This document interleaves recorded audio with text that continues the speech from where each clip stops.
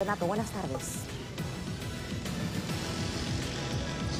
Así es él, así es él, y lamentablemente lo que pasó en Comas es una tragedia. La señora, la víctima, cruzada por esta abertura del metropolitano que hay que mencionar, todavía no está habilitada.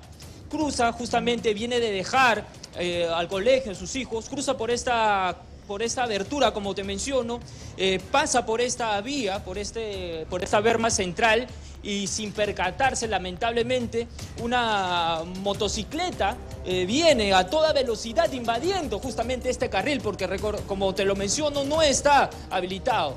Viene a toda velocidad y se lleva a la señora quien pierde la vida al instante. Esta es una tragedia. Eh, los vecinos, justamente, ante esta situación, eh, pide que esta parte sea señalizada, ¿no? Justamente estamos con uno de ellos.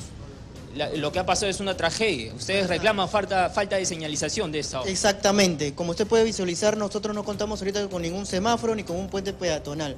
Eh, como podemos visualizar, allá se encuentran los representantes y es una lástima, una pena, en realidad, que se encuentren tan lejos. Han brindado declaraciones diciendo que tenemos eh, tienen planes de aquí a dos a tres meses, pero si nos damos cuenta, este proyecto tiene más, más de un año y medio. Lamentablemente tiene que suceder este tipo de cosas como accidentes y muertes de una madre de familia, como tantas personas eh, las hay, ¿no? Aquí cruzan, cruzan eh, madres de familia, chiquitos, niños, como puedes, has podido visualizar este, unos instantes también, escolares, personas que están estudiando, y lamentablemente es una pena en realidad que no se haga tampoco responsable el alcalde de Comas, ¿no? Porque eh, el alcalde de Comas eh, tiene conocimiento de esto, tiene conocimiento.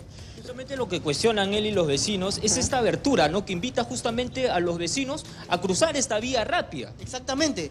Y, este, esto está completamente roto, como pueden visualizar. Hay, hay, púas, por ejemplo la señorita va a cruzar y lamentablemente eh, va de repente a pasar y se va a meter un raspón ahí que de repente hasta en, hasta en el emergencia puede terminar, ¿no? De acuerdo. Renato. Eh, esas púas son cortantes. Esas púas son cortantes. Sí, Ali, te escucho. Renato, ¿hay algún punto para cruzar de manera segura? ¿Algún puente? ¿Alguna esquina con semáforo? ¿Qué posibilidades tienen los residentes? Estamos más o menos a 500 metros o quizá un poco más de un semáforo, ¿no? Es decir, estamos entre dos semáforos, ¿no? A 500 metros. Eh, justamente los vecinos eh, reclaman que esta vía sea habilitada porque el semáforo que tiene que cruzar es, eh, les queda muy lejos ya que hay muchos adultos mayores justamente que tienen que hacer todo este recorrido. Luego para el otro extremo también hay un semáforo incluso más lejos. ¿no? justo ahí veo pasando un adulto mayor. La señalización. Ajá. Lo que necesitamos es un puente peatonal en realidad. Lo que necesitamos es un puente peatonal en realidad porque aquí, como pueden visualizar, es una vía recontra larga. Y este paradero eh, tiene años, años. Y este es paradero Los Ángeles y es la continuación de este cruce. Ahí está el paradero Los Ángeles y acá también el paradero Los Ángeles. Renato. Ahora yo, mira, en realidad yo me levanto todos los días de temprano. ahorita, por ejemplo, mira, Eli, vamos a ver eh, pasar, cruzar justamente a los transeúntes que ponen su vida en riesgo justamente cruzando esta, esta valla del metropolitano, eh, pasando por la, por la abertura que, te señalé, y ellos tienen que esperar que los carros se detengan eh, para pasar. No es el espacio. justamente eso es lo que quiso hacer la víctima Desde luego Que no y, un peligro porque lamentablemente falleció esta persona. Ahora un puente sería muy interesante porque vemos estudiantes, trabajadores, un señor de la tercera edad, pero esta zona está cercada, justamente es porque allí falleció esta vecina de Comas, eh, Renato.